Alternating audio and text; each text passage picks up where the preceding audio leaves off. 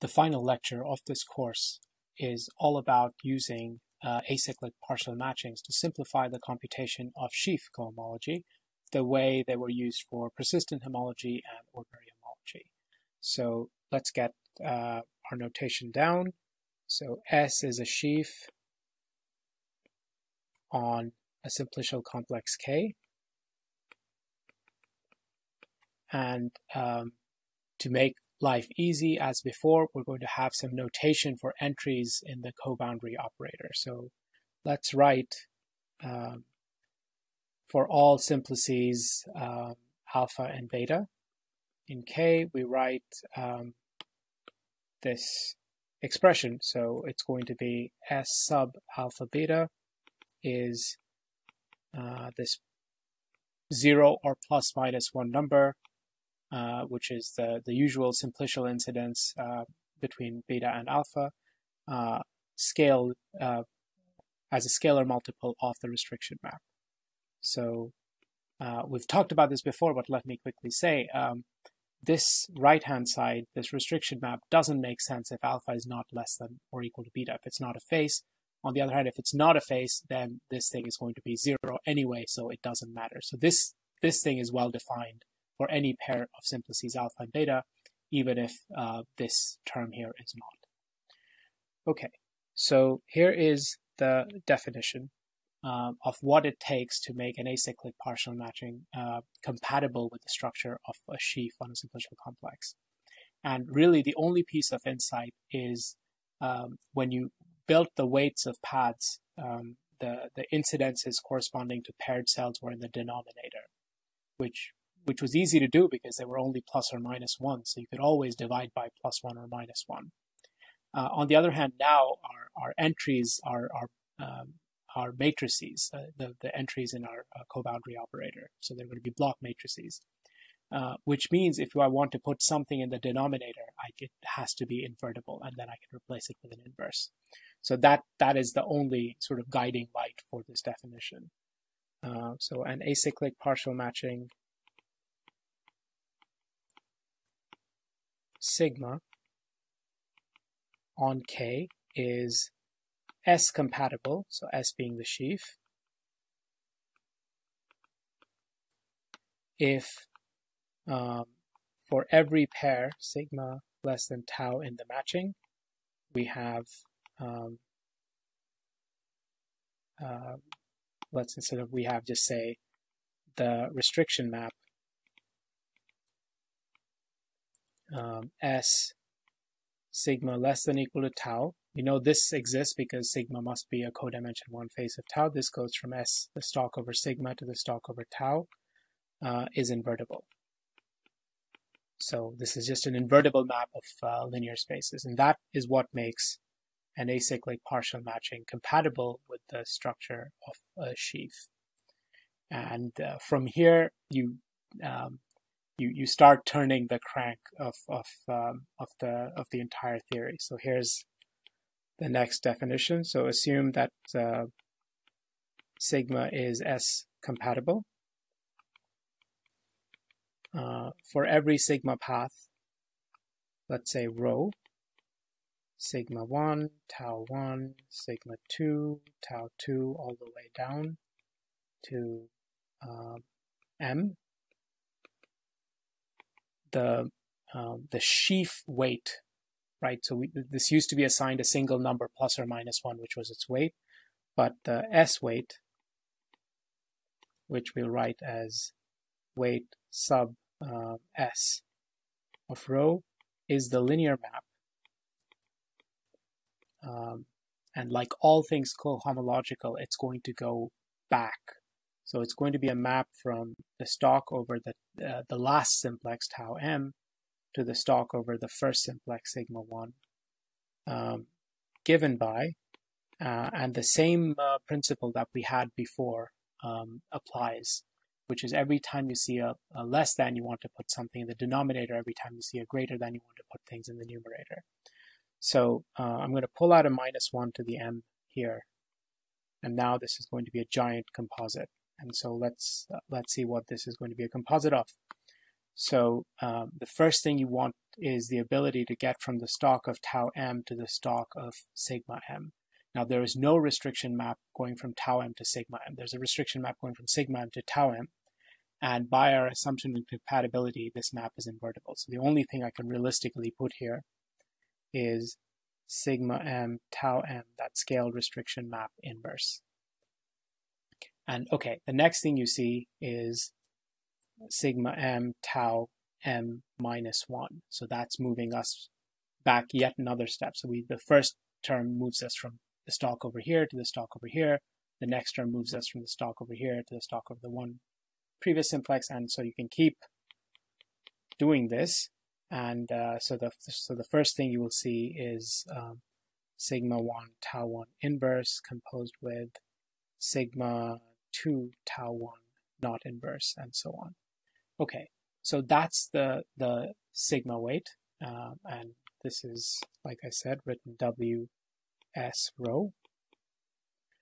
Um, and from here on out, everything is uh, the same. The reasoning, the structure, um, the, the only two differences are that our weights have been upgraded to linear maps rather than uh, single numbers.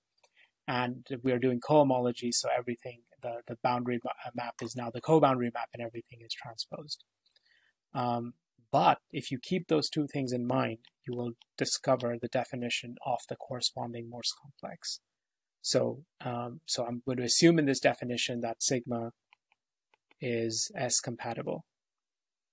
So that these weights make sense. Remember, if they didn't, um, uh, if sigma was not S compatible, then this formula for the weights would be completely uh, impossible because uh, those things that you'd want to invert are simply not invertible.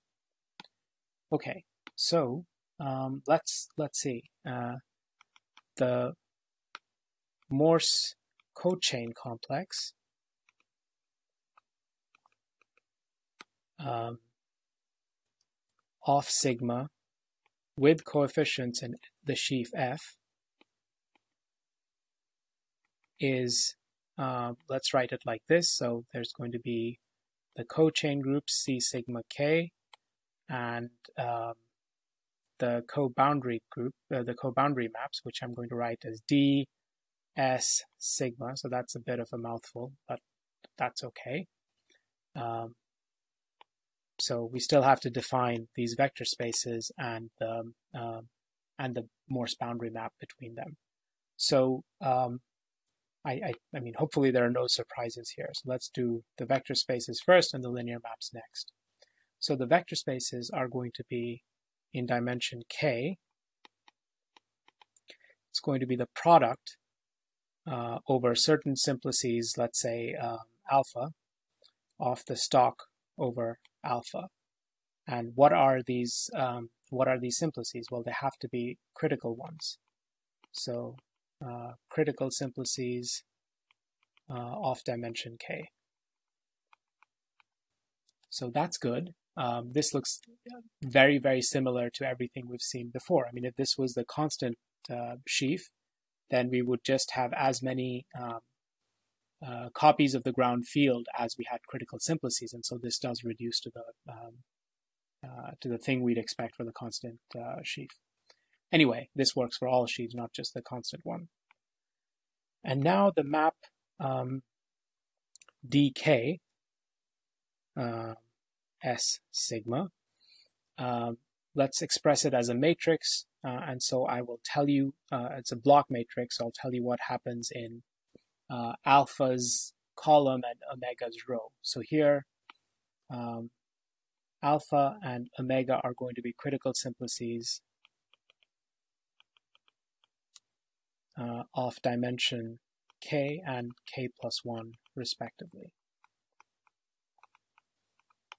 Uh, so we have to go from um, from the stalk of alpha to the stalk of omega somehow.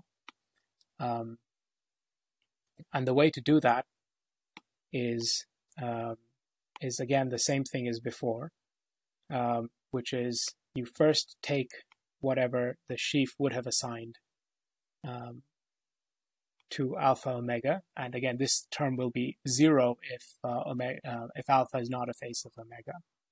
And then there's the, the, the Morse term, which is going to be a sum over uh, these paths. So let's see how they work. Alpha bigger than sigma 1, um, smaller than tau 1, etc., all the way up to um, tau m, and then uh, down to omega. So have I got this correct? No, I haven't got this correct because this is going from alpha to omega and I needed something going from omega to alpha. Uh, this is the, the, the trouble with cohomology. So this goes out, that comes here. okay, good. Now we're ready to go from um, the stalk over alpha to the stalk over omega. So this is going to be um, S alpha tau m composed with the weight with the sheaf coefficients of rho. So, so the first thing, uh, this bit gets you from alpha, the stalk over alpha to the stalk over tau m. This bit takes you from the stalk over tau m all the way down to the stalk over sigma 1.